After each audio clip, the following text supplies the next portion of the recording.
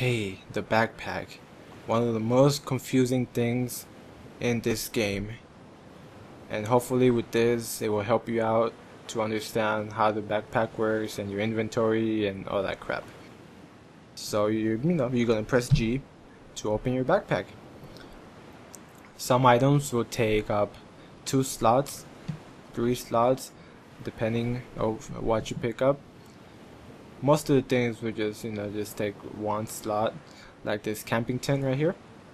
No I do not want to pitch it. Stop it. Like this camping tent will take up three slots. As you can see it took three slots. So once I put it in you're gonna see it took the slot. And then two more will just disappear meaning it took three slots one thing that's really confusing is how to open your backpack and put inventories in your backpack. So the only way that I know is to go up to, you know, some loot or a body, whatever, as long as you go into gear. Once you're in the gear, you're gonna click your backpack and you're gonna open your backpack. And this will show you how many slots and all the inventory that you have in your backpack.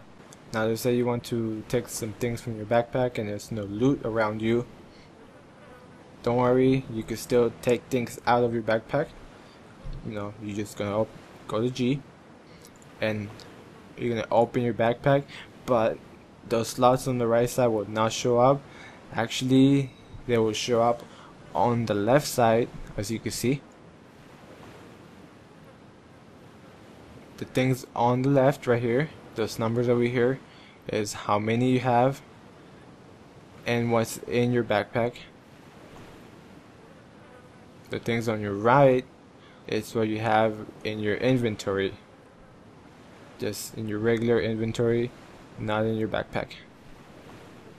So let's say you want to take out something from your backpack you could just you know double click it or you could press the arrow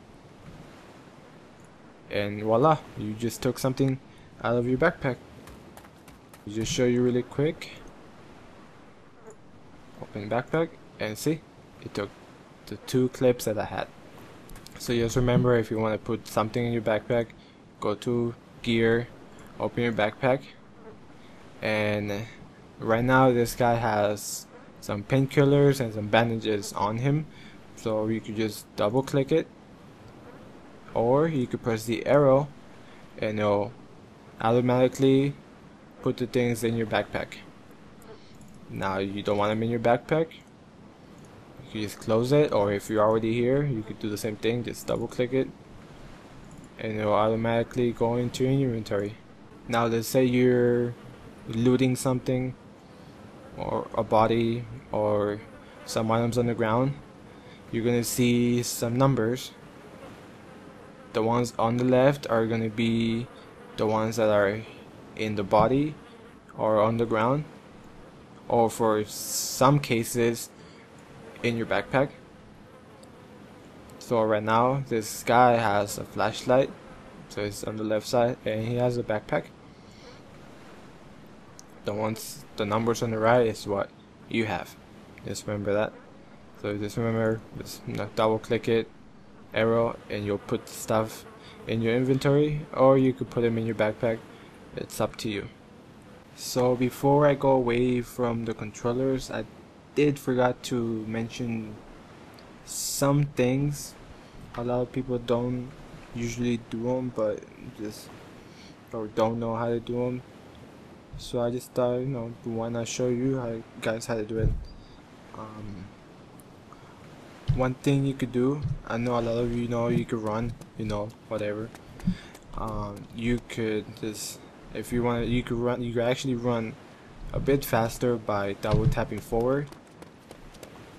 You can just tell by the animation it's different as you can see. And you actually do run a bit faster. I think if you have a pistol you run a lot faster than you would if you had another another gun you can also do it from crouching. Let's say you're crouching you just want to start running right away you could do the same thing. Just double tap forward and you'll be able to just start sprinting. As you guys know Q and E will lean left and right. If you lay down and you press Q and E it will roll left and it will roll to the right as you can see another little thing I forgot to mention on the mouse wheel is if you click things if you click it you'll be able to do the commands so let's say you find a ladder you click it you can start climbing ladders you know. it will also work for the doors. If you find some doors you're gonna see two little two arrows. I don't know if this one's were closed. I don't think they close yeah I don't think they close let me just find some doors really quick and I'll show you. Okay so here's some doors. You can see two arrows. If you once you see the two arrows you just click the mouse wheel and it will open or close them you can also do it by rolling the mouse and it will give you the option to open it and to close the door. I think it's a lot easier if you just you know click on it. Another thing you could do is you could walk. By holding the shift this will let you walk a lot slower if you want to be a lot quieter and less visible to zombies you know maybe other people. You can also do it by standing up. If you double tap it it will just stay walking.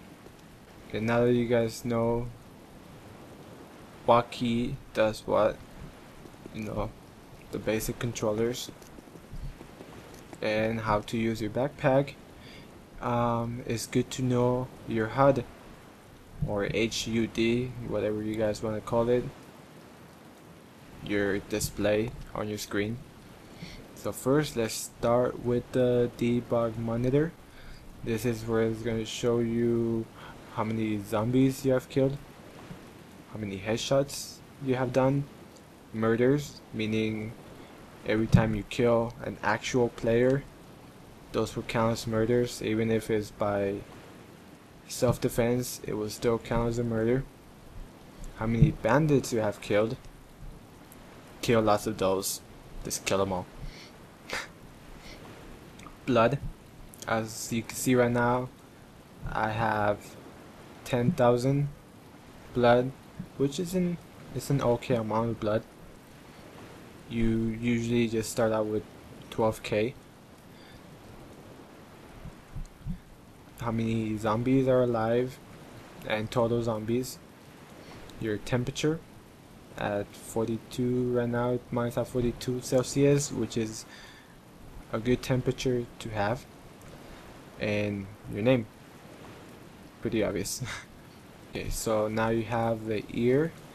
This is how much noise you're making. As you can see if I walk nothing happens but once I start moving you can see a little tiny marker. And the less noise you make the, like the less chance you have of attracting a zombie. So obviously if you run you can see the markers show up a lot. So it's a good idea to you know keep them as low as you can.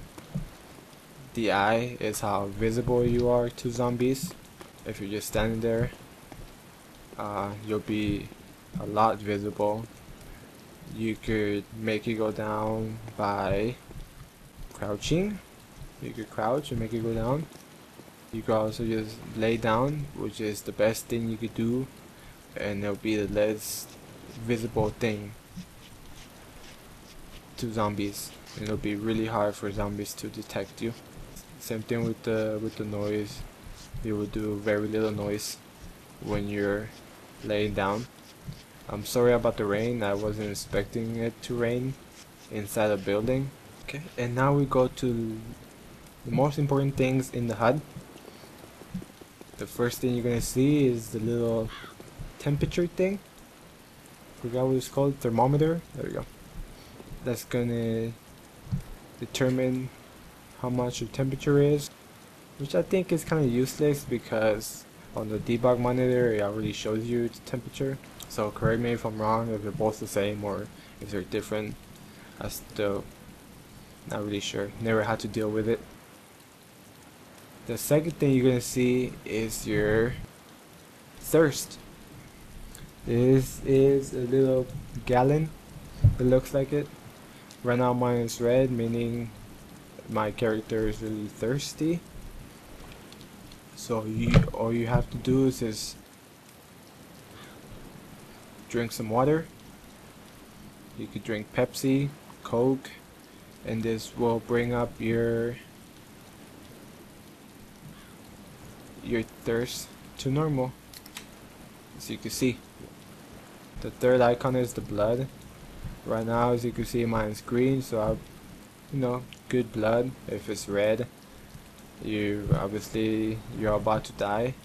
As you as you lose blood your screen will start turning black and white. And once you get blood over again you you know your color will return. And the last thing is the, your food or hunger meter which is a little a fork and a knife.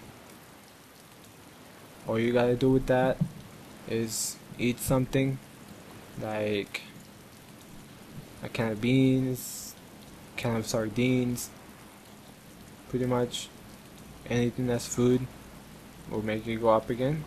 My guy's really hungry right now so let me feed him really quick. One thing before I I'm done with the HUD almost forgot with the blood it's um I guess three things three ways you could get blood one thing you could do is eat canned food which will give you a little bit of blood. The second thing you could do you could kill an animal and cook it in a fireplace. And third thing you could do is blood transfusion. And for that you're going to need a friend. The blood transfusion will heal you all the way.